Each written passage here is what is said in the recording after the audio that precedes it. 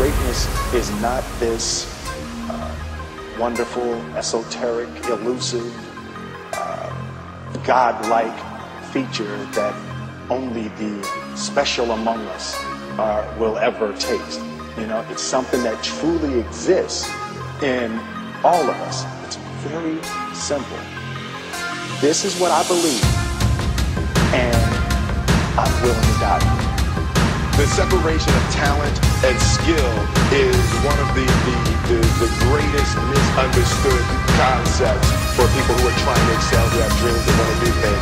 Talent you have naturally. Skill is only developed by hours and hours and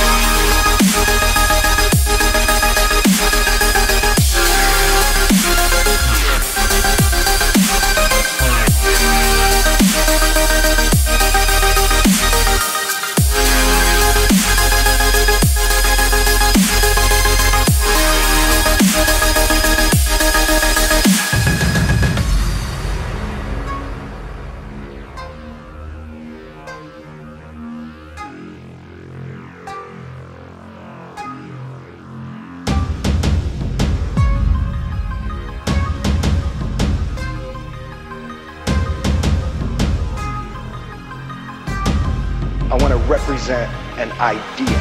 I want to represent possibilities.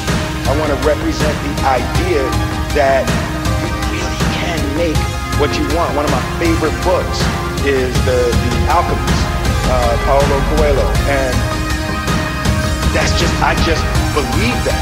I, I believe that I can create whatever I want to create.